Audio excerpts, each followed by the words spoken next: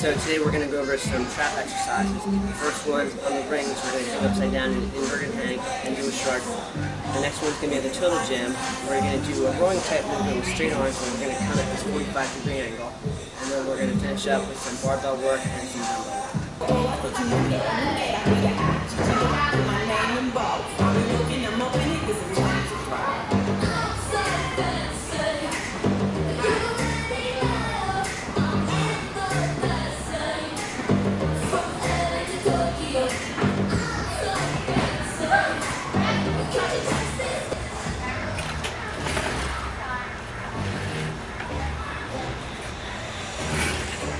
So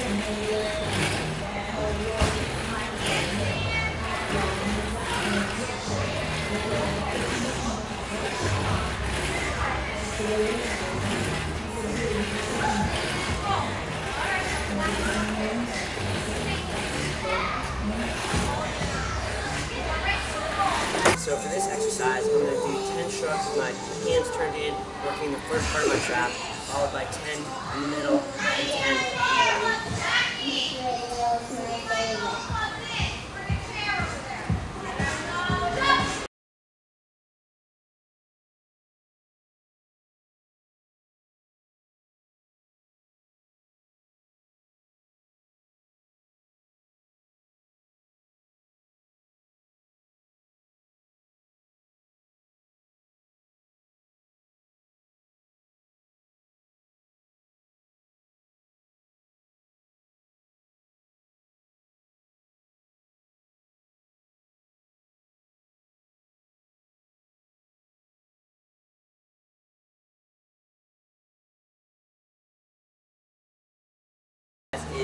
30 behind the back